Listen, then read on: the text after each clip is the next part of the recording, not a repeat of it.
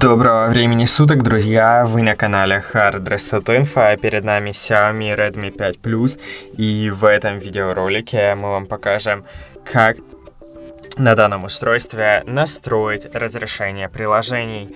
Для того, чтобы это сделать, мы заходим в настройки этого телефона и в настройках находим пункт, который называется «Приложение».